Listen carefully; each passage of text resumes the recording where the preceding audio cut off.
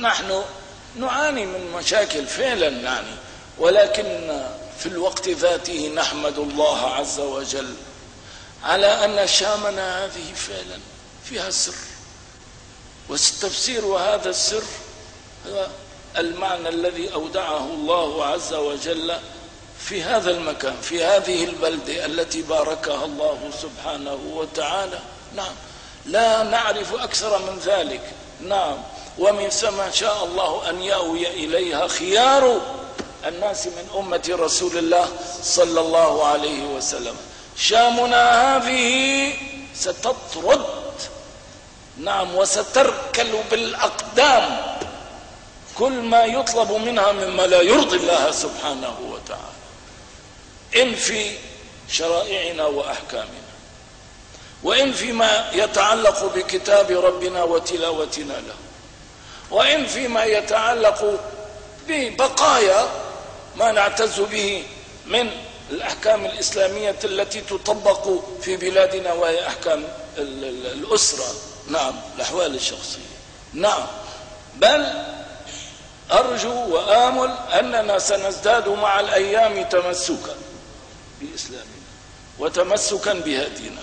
ولقد أطربتني وأنعشتني البارحة وأنا أصغي السمع إلى بعض.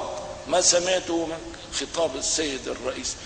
عندما قال ينبغي الاهتمام بتربيتنا والأخلاقية وكذا ثم وقف عند تربية الدين.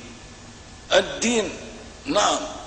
وأبرز اهتماما شديدا بكلمة الدين ثم قالوا هذا هو وزير التربية وقد نبه منذ أسبوع إلى ضرورة الاهتمام بهذا الأمر. هذا توفيق من الله عز وجل. هذا توفيق من الله عز وجل. ومن ثم يعني أوصي نفسي وأوصيكم جميعا أيها الإخوة. نحن لا يتأتى منا يعني إلا الدعاء. إلا الدعاء والثبات على ما أمر به الله عز وجل. ندعو لأمتنا الإسلامية وندعو لقادة المسلمين لا سيما لقادة المسلم في هذه البلدة بالهداية والرشد والسير على النهج الذي أمرنا به الله عز وجل.